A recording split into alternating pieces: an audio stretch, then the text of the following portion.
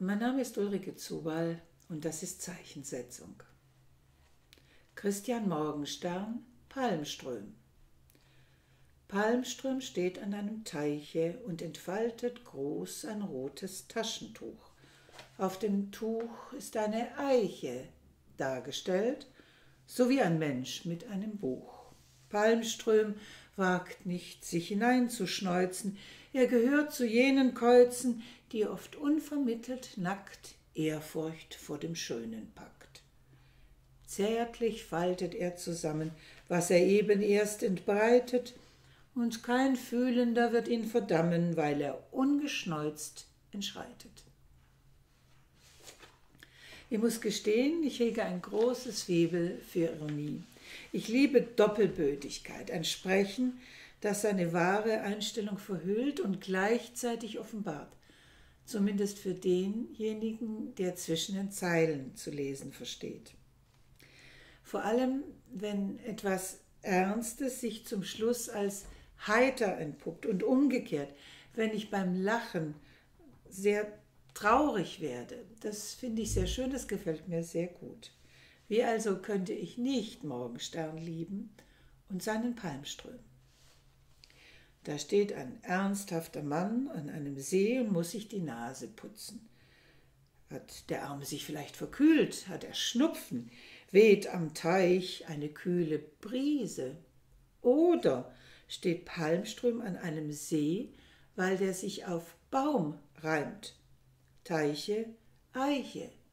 Unterlag in diesem Fall die Realität dem Zwang der Sprache und der Poesie? Ich weiß es nicht.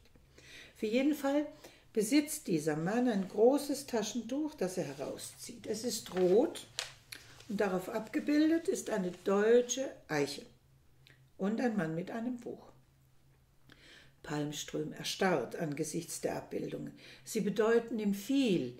Es sind ehrwürdige Objekte, die da abgebildet sind, in Begriff des Schönen und Erhabenen. Palmström ist ergriffen und faltet vorsichtig, zärtlich das Schnupftuch zusammen. Er schneuzt sich nicht, wer könnte es ihm verdenken? Ganz gewiss niemand, der wie er fühlt und Ideale hat, die man einfach verehren muss. Das Problem ist nur, dass Palmström nun den Rotz in seiner Nase hochziehen muss, aber sei's drum. Ideale sind es wert, dass man nicht recht schnaufen kann das reizt zum Lachen. Dieser Drang zum Hören, der das menschlich, allzu menschlich, unzulängliche nur noch deutlicher macht. Was für Ideale sind das überhaupt? Sehen wir uns das einmal genauer an und schauen wir uns einmal genauer den Mann an, der diese Verse geschrieben hat. Christian Morgenstern wurde geboren am 6.5.1871 in München und starb am 31.03.1914 in Untermais, Tirol. Er lebte also genau in der Zeit, in der Deutschland ein Kaiserreich wurde, geführt von einem preußischen Monarchen, der sich in militaristisch-narzisstischen Posen gefiel. Morgenstern starb in dem Jahr, in dem des Kaisers Herrschaft mit Ausbruch des Ersten Weltkrieges seinen Höhepunkt erlebte. Der Untergang zeichnete sich bereits am Horizont ab, zumindest für diejenigen, die hellsichtig waren. Das gründerzeitliche Kaiserreich in seiner ganzen Borniertheit und Selbstherrlichkeit diente Morgenstern zur Folie einer tiefgründigen Komik und Kritik. Aus einer Familie von Landschaftsmalern stammend, sollte Morgenstern Offizier werden. Er studierte Jura und gab schließlich alles auf und wurde Schriftsteller. Es kam zum Bruch mit dem Vater. Morgenstern lebte von Übersetzungen norwegischer Schriftsteller und wurde gegen alle väterlichen Unkenrufe hochberühmt für seine hintergründig komische Lyrik. 1905 erschienen die berühmten Galgenlieder, 1910 die Palmström-Gedichte, von denen eines, das zitierte, mit dem roten Schnupftuch ist. Doch war Morgenstern alles andere als ein leichtlebiger Zeitgenosse. Die tiefen Fragen der Menschheit interessierten ihn Zeit seines Lebens. Morgenstern las Friedrich Nietzsche, Schopenhauer und wurde gegen Ende seines Lebens, er starb an Tuberkulose, die er sich als Kind bei seiner Mutter zugezogen hatte, ein großer Anhänger Rudolf Steiners. Auf dem Gelände des Goetheanum bei Basel ist er auch beigesetzt. Christian Morgenstern war beides, ein Mann, der es verstand, andere und sich selbst zum Lachen zu bringen, und einer, der das Leben und die Politik sehr ernst nahm. Die wilhelminische Gesellschaft widerte ihn an. Zitat. Es gibt nur eine Rettung, vor dem Ekel muss man sich durch Lachen schützen. Zitat Ende. Und das tat er so gut er konnte. Wenn seine Landsleute in Deutschtümelei schwelgten, zum Krieg rüsteten und sich der ganzen Welt überlegen fühlten, aufgrund von was, konnte er da nur fragen. Die deutsche Eiche, das gedruckte Buch, das wir Deutschen, sprich ein Herr Gutenberg, im Jahr 1450 angeblich erfunden hatten und in das Luther kurze Zeit später unser heiliges Buch die Bibel verwandeln konnte? Sicher, das waren hohe Ideale, die uns Deutschen sehr viel wert waren. Eichen pflanzten deutsche Politiker zu Morgensterns Zeit liebend gern als Symbole deutschen Nationalgefühls. 1886 hatte Christian Friedrich Schubert, der Freiheitsheld, euphorisch ausgerufen: Freiheit, Freiheit, hörst du tönen aus dem alten Eichenhain. 14 Jahre zuvor hatte sich der Göttinger Heimbund in einer mondhellen Nacht unter einer deutschen Eiche getroffen, um der Gottheit Natur zu ihren angestemmten Ehren zu verhelfen. Dem großen vaterländischen Dichter Klopstock waren Eichen als Gedenkbäume gewidmet worden. Seit 1848 galt die Eiche als das Hoheitssymbol für Gesamtdeutschland. Ja, selbst die keltischen Druiden hatten ja bevorzugt von Eichen ihre Mistelzweige gepflückt.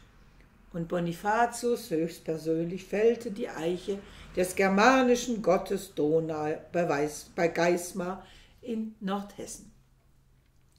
Die Eiche, das war ein Symbol für die Ewigkeit. 30 Generationen konnte so ein Baum alt werden. Sie war unser deutscher Wappenbaum geworden und ihre Blätter zierten viele deutsche Münzen. Wie konnte man sie als Deutscher also nicht verehren? Oder das heilige Buch, die deutsche Bibel eines Martin Luther? Die Frage war nur, wie konnten diese Symbole deutsch-nationaler Identität auf ein Schnupftuch kommen? Auf ein Tuch, dem wir die Exkremente, noch dazu die Kranken unseres Körpers anvertrauen. Das war eine Entweihung sondergleichen, und aus dem Tuche wurde rasch ein rotes Tuch. Wie auch immer, Palmström hatte den richtigen Riecher trotz verstopfter Nase. Er erstarrte in Ehrfurcht und unterdrückte den natürlichen Trieb, der ihn fast dazu verleitet hätte, die höchsten Werte von uns Deutschen zu beschmutzen. Ungeschneuzt schreitet er von dannen. Er geht nicht, er schreitet, majestätisch, wie es sich für einen Menschen geziemt, angesichts der Hoheitszeichen seines Vaterlandes, wobei er es sogar wagt, für diesen Akt patriotischer Treue ein neues Wort zu erfinden, ungeschneuzt. Ehrfurcht und Zärtlichkeit bestimmen seine Gefühle. Ja, Palmström ist ein Idealist, dem wahren Guten und Schönen und Erhabenen zugetan.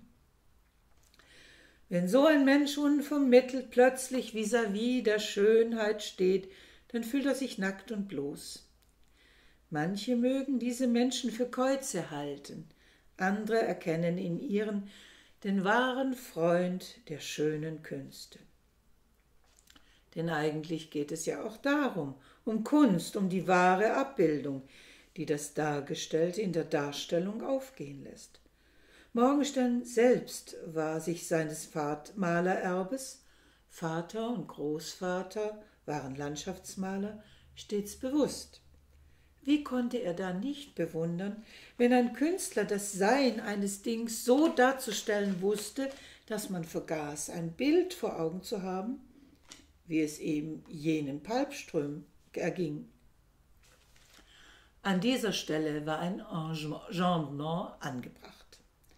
Auf dem Tuch ist eine Eiche, Versende, neuer Vers, dargestellt. Der Vers endet vor dem Wort dargestellt, das erst in der Zeile darauf erscheint. Ein Enjambement. Zunächst ist das reine Sein der Eiche angesprochen. Auf dem Tuch ist eine Eiche. Erst der folgende Vers klärt auf, dass es sich um ein Kunstprodukt, eine Darstellung handelt und nicht um das Ding an sich.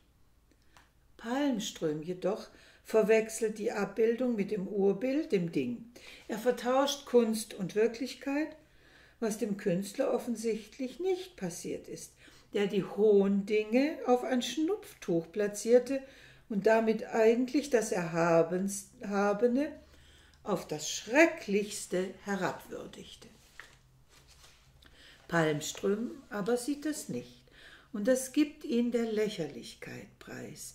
Er entpuppt sich als einer jener bildungshungrigen Spießer, die stets nach dem Höheren streben und Ideale hochhalten, die längst schon in den Niederungen der nicht idealen Welt angekommen sind.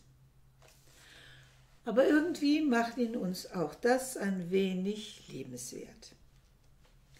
Ich erinnere mich an ein Gedicht von Heinrich Heine, das ich als junge Studentin im ersten Germanistiksemester durch Käthe Hamburger, der großen deutschen Literaturwissenschaftlerin, kennengelernt habe. Es stammt aus dem Buch der Lieder, dem ersten Zyklus, die Nordsee betitelt. In dem Gedicht kehrt ein heidnischer Gott in sternenloser Nacht bei einer wunderschönen Fischerstochter ein. Sie steht schauernd vor ihm, gleich einer erschrockenen Lilie, also ebenso ehrfurchtsvoll wie Palmström vor der abgebildeten Eiche. Der Gott lacht, liebessicher, wirft seinen Mantel ab und bittet um einen Tee mit Rum. Zitat. Denn draußen war's kalt und bei solcher Nachtluft frieren auch wir, wir ewigen Götter, und kriegen wir leicht den göttlichsten Schnupfen und einen unsterblichen Husten. So geht es einem, wenn man als kleines Menschlein einem Gott oder einem göttlichen Symbol begegnet, man wird als Mensch sehr schnell auf den Boden der Tatsachen zurückgeholt. Der eine früher, der andere später, aber das auf jeden Fall. Nur gut, wenn man dann wenigstens ein wenig über sich selbst lachen kann.